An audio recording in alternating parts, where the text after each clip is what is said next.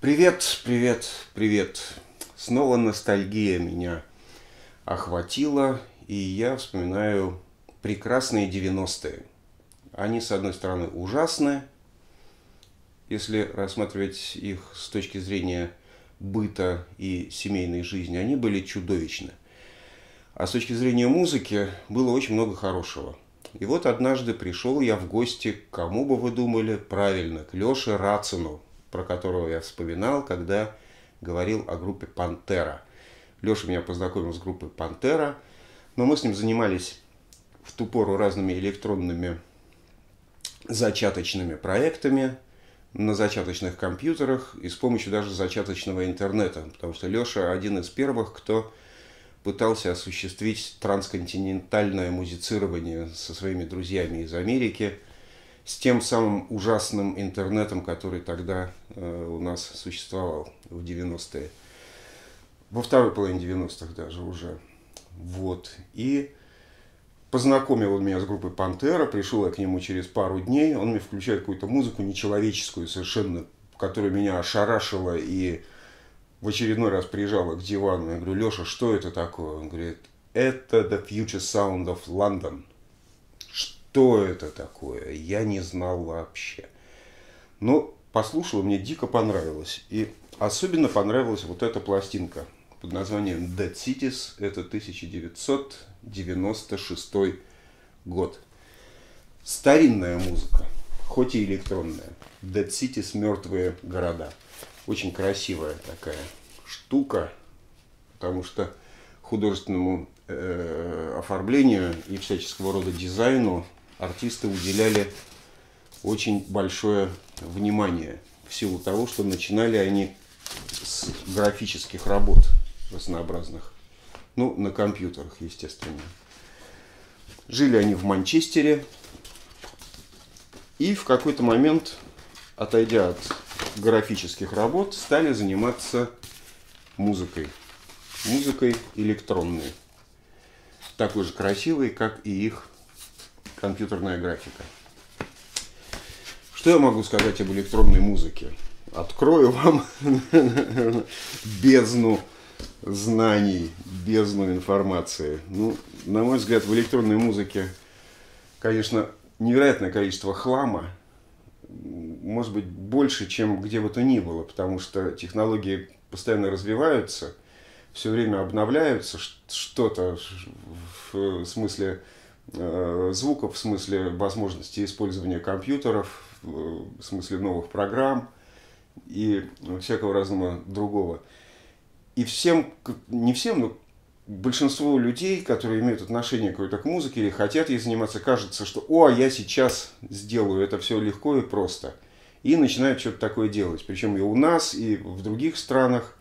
И некоторые даже выпускают альбомы, потому что альбомы выпускаются часто не из-за того, что там музыка хорошая, а из-за того, что что-то новое, что-то необычное, что-то такое диковатое, и продюсеры думают, а вот вдруг эта штука выстрелит. И выходят эти пластинки, которые слушать невозможно просто.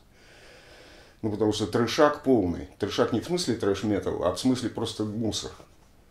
Ну, я уже не говорю о том, что в интернете творится, достаточно войти, посмотреть там всякие списки электронных групп, и отечественных, и неотечественных, и начать их слушать, там какой-то кошмар, безвкусица, хаос, не музыкально, все некрасиво и зачастую еще содрано с того, кто с кого-то это содрал, который тоже с кого-то это содрал, и в свою очередь содрал с какого-нибудь американского или немецкого композитора, про которого все давно забыли.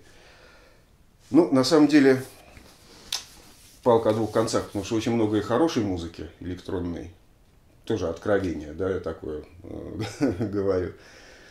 А с другой стороны, из-за того, что все постоянно обновляется, все постоянно меняется, пластинки электронной музыки, которые являются шедеврами, действительно, а это, на мой взгляд, шедевр подлинный, они как-то уходят в тень, забываются, потому что идет волна нового, волна нового, волна нового, идет быстрее, чем в традиционном роке, чем в любой другой области музыки. Ну, опять-таки, я говорю, все обновление технологий ведет к тому, что появляется очень много новых проектов, так называемых. Люди уже не пишут песни, а пишут треки, что меня бесит совершенно, выбешивает просто. Я записал новый трек, ты иди ты в жопу, ты песню напиши нормальную, а потом уже трек он записал.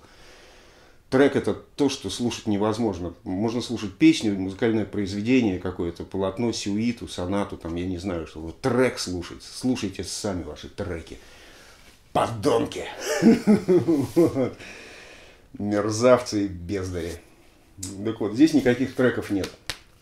Здесь есть очень хорошая музыка, очень хорошие сюиты и пластинка концептуальна в своем роде. Концептуально не...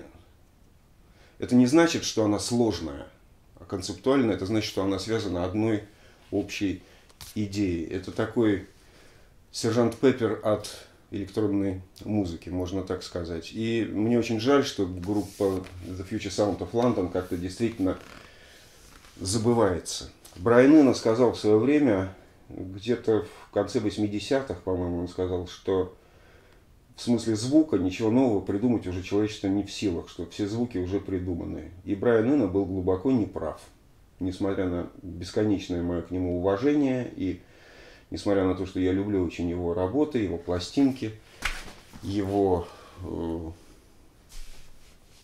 не знаю, как сказать, концерты, его мысли, его идеи. Он был неправ, потому что все развивается, и звуки новые тоже появляются. А самое главное, даже не в том, что новые звуки появляются, а в том, что, как их собрать вместе. Вообще, я, конечно, больше люблю музыку, которая сыграна руками, но музыка, которая сыграна на компьютерах, она тоже бывает интересной. Потому что музыка это что такое? Это звук. А если нам нравится этот звук, мы получаем от него удовольствие, то почему бы его и не слушать?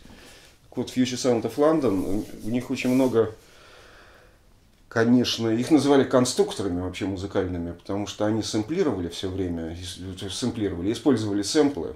Например, в этом альбоме сэмплы а, Вангелеса, сэмплы из группы Ozric Tentacles, которые играют руками, кстати, вся электронную музыку, настоящую электронную музыку, рок, сыгранный руками. И еще куча, куча, я не, я не помню уже, а, откуда они брали сэмплы. Здесь все написано, мне лень читать. Но это такая музыкальная маленькая вселенная, вот эта штука, когда начинаешь ее слушать, так в нее погружаешься, в эти, в эти мертвые города. Два парня всего. Группа состоит из двух человек, живущих в Манчестере. В каком-то подвале у них была студия, они сидели, выпускали альбомы. Кстати, первые два альбома мне у них не нравятся, потому что они такой какой-то такой традиционный эмбиент. Красивые, но как-то не зацепили. А вот Dead Cities они делали два года, он вышел в 96 году. И он, конечно, потрясающий. Несмотря на все, на все то, что сэмплы, что использованы гитарные фразы там, из других групп, из, из The Tentacles в частности. Но как это все собрано, как это все сделано, как помимо того, что сэмплировано, как там много наиграно руками, Макс Рихтер, здесь композитор, принимает участие, которому посвящена песня даже под названием «Макс» на второй стороне.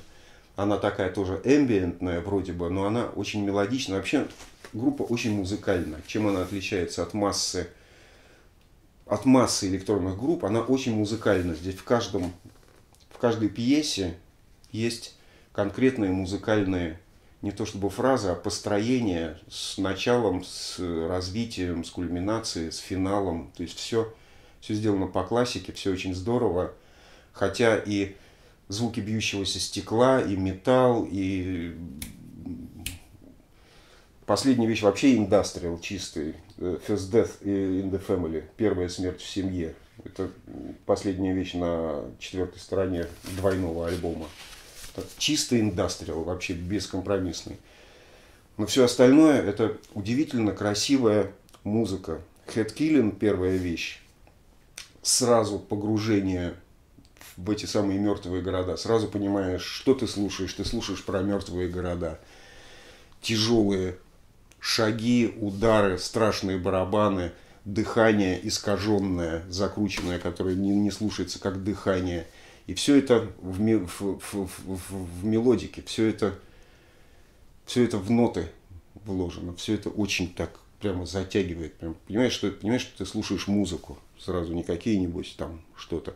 Dead City, следующая вещь, это, вещь, это уже развернутое такое повествование о мертвых городах.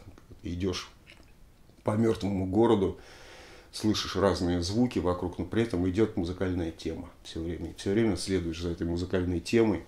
Все это в пространстве, все это в реверберации, все это, в, все это объемно, невероятный звук, просто который прижимает и растворяешься в нем. Просто красота невероятная.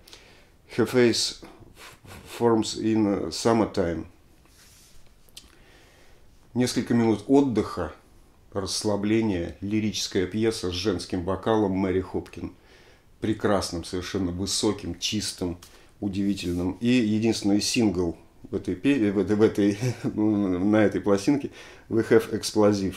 Сингл, который разошелся отдельным, так сказать, э, отдельным материалом, обрел свое существование и звучал на всех дискотеках, я думаю, потому что абсолютно мрачная, жесткая, роковая, танцевальная песня, такая приближающаяся к техно, но, но в техно не ушедшая. Ну, такая же моторная и, в общем, хочется двигаться под нее. Другое дело, весело ли под нее двигаться, это большой вопрос. Ну, я думаю, что люди по-разному к ней относятся. Вторая сторона тоже начинается сначала достаточно кошмарно, а потом становится лирической, мелодичной, приятной и интересный. А, кстати, тут на, на, на, на первой стороне еще очень хорошая э, история в Dead Cities, когда искаженные...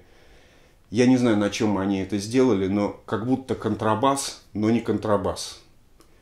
И такие шагающие партии у него, этого страшного псевдоконтрабаса закрученного. Удивительная штука. My Kingdom – мое королевство, великолепно мрачное, разрушенный город после, после катастрофы, можно сказать так. Вот, собственно говоря, обложка об этом и говорит.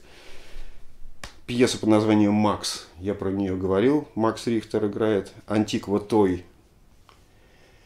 Страшненькая вещь. Она, с одной стороны, веселенькая такая, Антиква Той. Но это игрушки, сделаны непонятно из чего, которыми играют явно какие-то мертвые дети. Уже такое ощущение. Не побоюсь я этого выражения, этого образа. Но этот образ в чистом виде здесь рисуется. Хотя, на первый взгляд, такая мажорненькая какая-то такая фраза, ну, дико это все, дико зрелищно, дико образно. Следующая, третья сторона – начинается красиво. Красиво, вместе с тем страшно. Тут такая вся музыка, вся музыка The Future Sound of London на этом альбоме, она такова. Яги, это открывается четвертая сторона с вокалом, с хором, с синтезаторными аккордами и уходит в путешествие по мертвому городу какого-то уже невероятного существа, мимо которого пролетают то ли пули, то ли осколки горящих зданий, то ли какие-то уже птицы-мутанты с невероятными несуществующими в природе голосами. Вот они так летят. Но все не перегружено, все чрезвычайно музыкально, все, все как симфоническая музыка настоящая. Настолько все выверено, настолько все точно, настолько ни, ничего не душит, не ломает, не надоедает. Бесконечное просто вот удовольствие от этого альбома. И я всем советую его послушать. И не забывать о музыке 90-х, в которой создавались такие удивительные произведения. Хотя флагом, флагманами, флагманами индустрии, конечно, электронные были немцы э, в ту пору. Там Tangerine Dream, Клаус Шульце и другие артисты. Но англичане тоже дали джазу настоящего. Dead Cities, The Future Sound of London. Всем советую.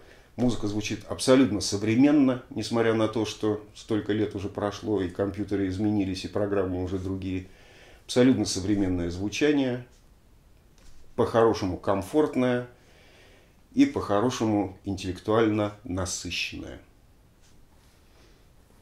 После этого хочется отправиться пить. Больше делать нечего. Пока.